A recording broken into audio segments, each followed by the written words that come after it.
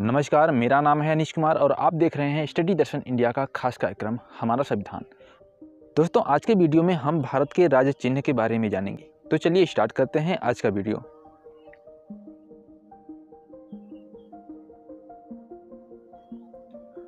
दोस्तों, भारत का राज चिन्ह सारनाथ स्थित अशोक के सिंह स्तंभ की अनुकृति है, जो सारनाथ के संग्रहालय में अभी भी सुरक्षित है।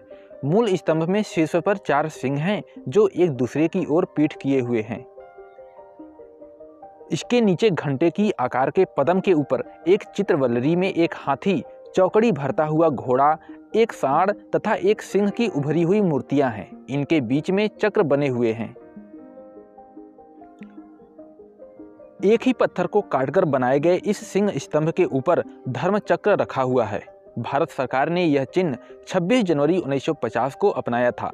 इसमें केवल तीन सिंह ही दिखाई पड़ते हैं और चौथा सिंह दिखाई नहीं देता है। पट्टी के मध्य में उभरी हुई नक्काशी में एक चक्र है, जिसके दाईं ओर एक साड़ और बाईं ओर एक घोड़ा है।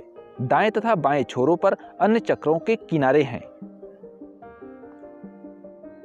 आधार का पदम छोड़ दिया गया है। फलक के नीचे मुंडकोपनिषद का सूत्र वाक्य सत्यमेव जयते देवनागरी लिपि में अंकित है, जिसका अर्थ है, सत्य की ही विजय होती है। भारत के राज चिन्ह का उपयोग, भारत के राजकीय अनुचित उपयोग निषेध अधिनियम 2005 के तहत नियंत्रित होता है।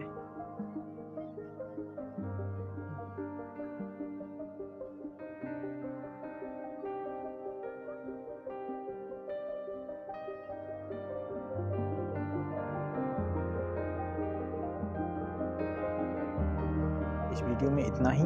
मिलते हैं अगले वीडियो में। तब तक के लिए नमस्कार।